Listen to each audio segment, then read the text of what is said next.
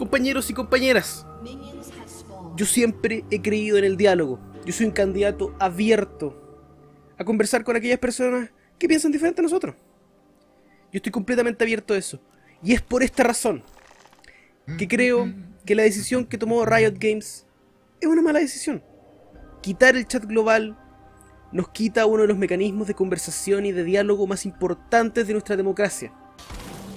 Creo, sin lugar a duda, el conflicto que está ocurriendo actualmente en la jungla es muy complejo y delicado, y tiene que ser tratado con esa misma delicadeza. Pese a ello, creo que estar militarizando la zona no es lo que corresponde. Ganquear la jungla no es la forma.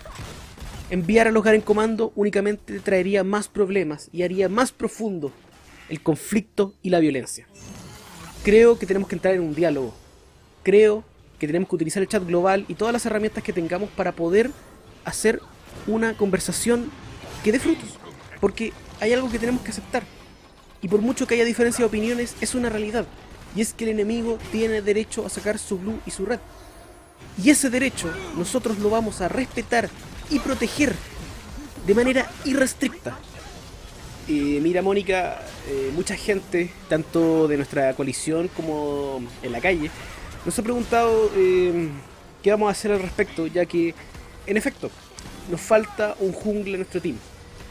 Mucha gente está preocupada al respecto y quiero decirles que hay que mantener la calma. Nosotros estamos en conversaciones en este momento con varias de las mejores personas para League of Legends. Los más profesionales y los más capacitados están siendo eh, llamados para poder conversar con ellos.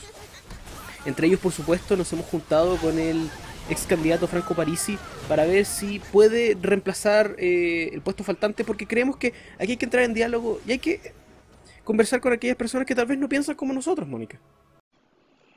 Ay, esto no era una página de memes. Ay, Chocolate no hacía humor. Ay, se politizaron, se vendieron. Cállate, conche tu madre. Llevamos años haciendo humor político, llevamos años dando nuestras opiniones políticas respecto a todas las weas.